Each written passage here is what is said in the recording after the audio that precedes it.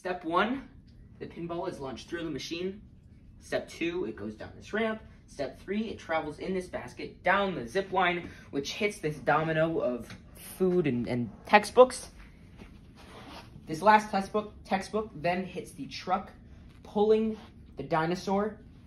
That pushes the domino of movie boxes. And then that hits the car, which is launched into the next domino. And this last book hits this for step nine.